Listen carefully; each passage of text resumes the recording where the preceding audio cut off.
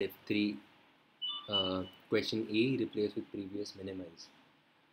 Uh, so we've been given a string str and we've been given k. Now in one operation we can choose a certain character and uh, substitute all the occurrences of that particular character in the string by the character that precedes the given character. So for example, if we have selected character C, then wherever C occurs in the string, we can substitute C by B. This is one, one operation and at max we can uh, perform K operations. We need to find the lexicographically minimum string that is possible to be obtained by performing at most k operations. Uh, the way we solve this question is uh, okay so there are two major observations in this question number one being that whenever k is greater than 26 then you can observe that first of all uh, we'll uh, we'll choose if if z occurs in the string we'll transform all the z's to y's then we'll transform all the y's to uh, x and so on.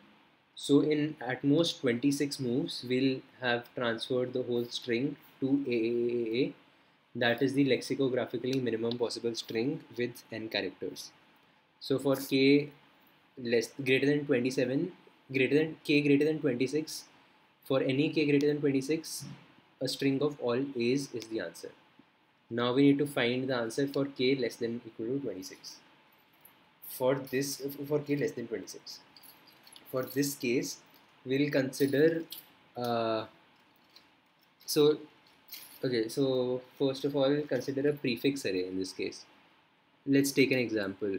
Uh, okay, we can take, we can take what? We can take this as an example. Uh, C D A F G. Case let's say 9 now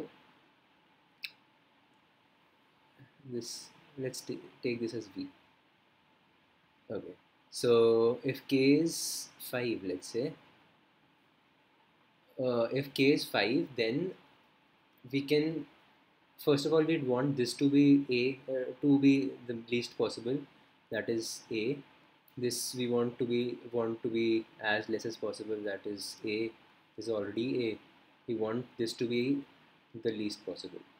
Now to transform this into a we'll need two operations.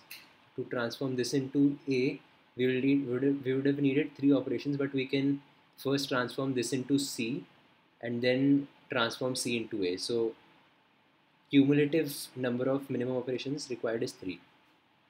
Now this is already A, so cumulative operation minimum operations required is 3. To transform this into the minimum possible string, so already in 3 operations we've been able to get the string this.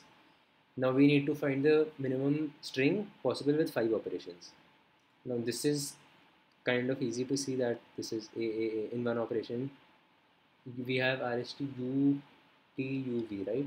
So in one operation we get this and in another operation we get this. So this is the answer for this case. Now the way we solve this is c d a v g. Maintain a prefix array where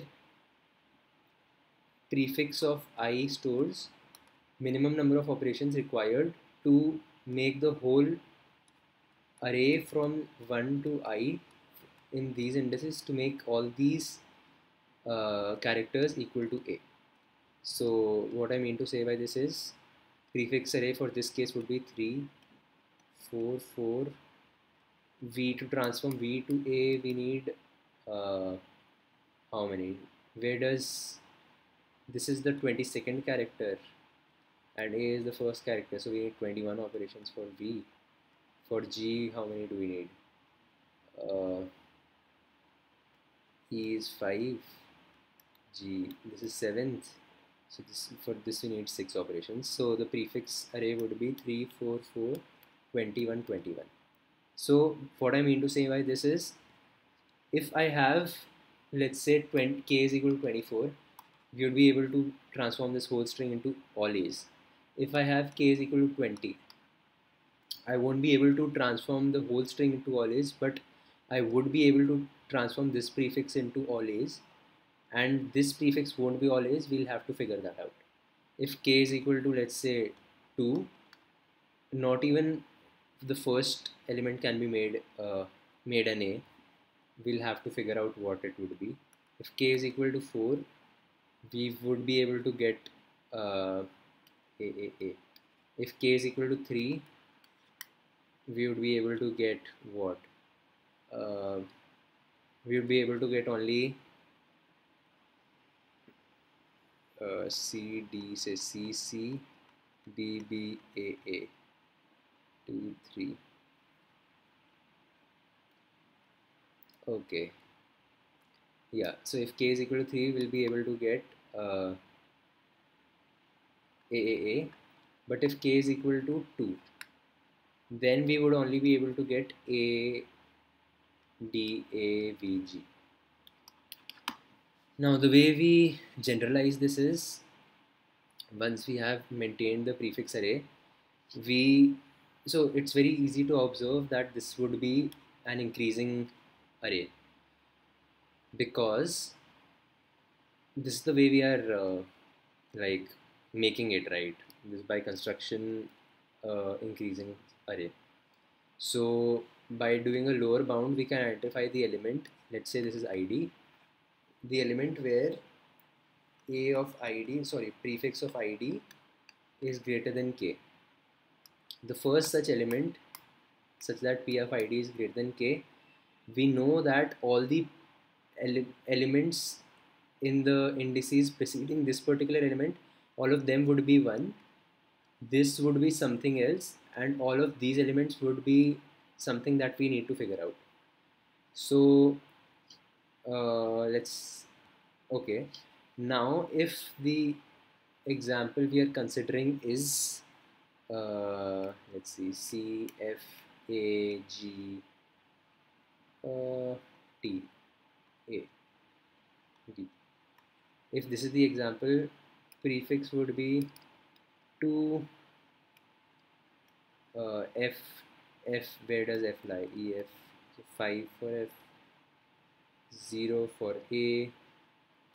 But this is a prefix so we need to find the maximum of all. So first let's just uh, store the number of operations we need to transform each character to a individually. This is 2 this is 5 this is 0 what is this? E f g? This is 19 this is 0 this is 1 now prefix array is 2 5 5 6 19 19 19 okay. Now if k is equal to 10, we can safely see that all of these can be made uh, equal to a in if we have k operations available, if we have 10 operations available. And t cannot be made equal to a in 10 operations.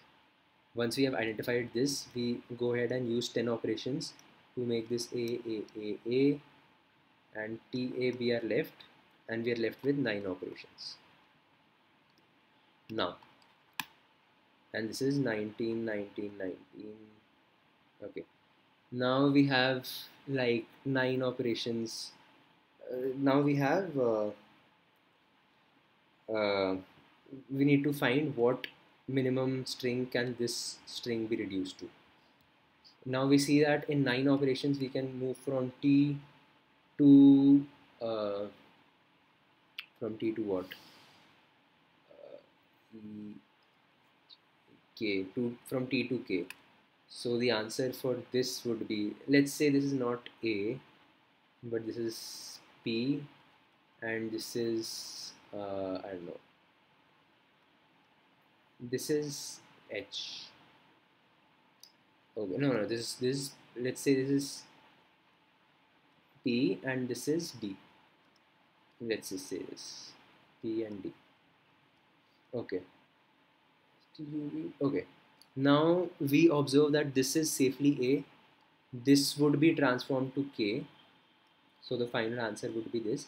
But what would P be? P would essentially also be equal to K because when, when, when we are reducing T to K, so what is the alphabet like? What does the alphabet uh, line look like? J K L M N O P Q R S T. So P lies between K and T, right? So while we are reducing T to K, P will also get reduced to T.